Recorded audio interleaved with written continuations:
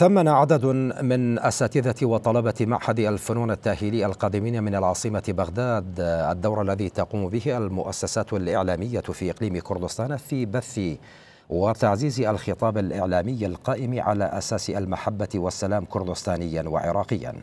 جاء ذلك خلال المؤتمر المشترك لكوادر المعهد مع عدد من الإعلاميين العاملين في القنوات الفضائية في الإقليم والذي شهد تكريم عدد منهم بدرع الإبداع من بينهم الدكتور فلاح الفضلي مدير الأخبار في قناة زاغروس الفضائية ومراسلة القناة في زاخو نجلة السندي.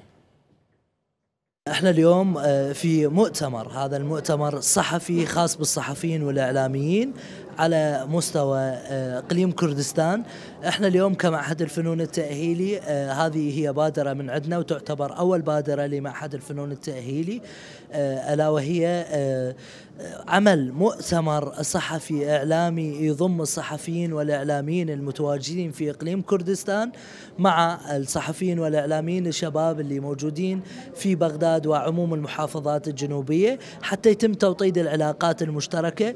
طبعا آه، كرمنا مجموعة من الإعلاميين والصحفيين المعروفين على مستوى إقليم كردستان آه، بإنجازاتهم آه، وعطائهم من قبل كثير من التفاصيل. الحمد لله والشكر هذا المؤتمر لاقى نجاح كبير وحضور عدد حضور آه، جدا رائع من قبل الصحفيين والإعلاميين. نتمنى يا ربي إنه آه، تصير لنا الفرصة الأكبر إنه إحنا نقيم هكذا مؤتمرات لتكريم نخبة. آه، مهرجانات عفوا مؤتمرات مشتركة لتكريم نخبة من الصحفيين والإعلاميين في إقليم كردستان الحبيبة.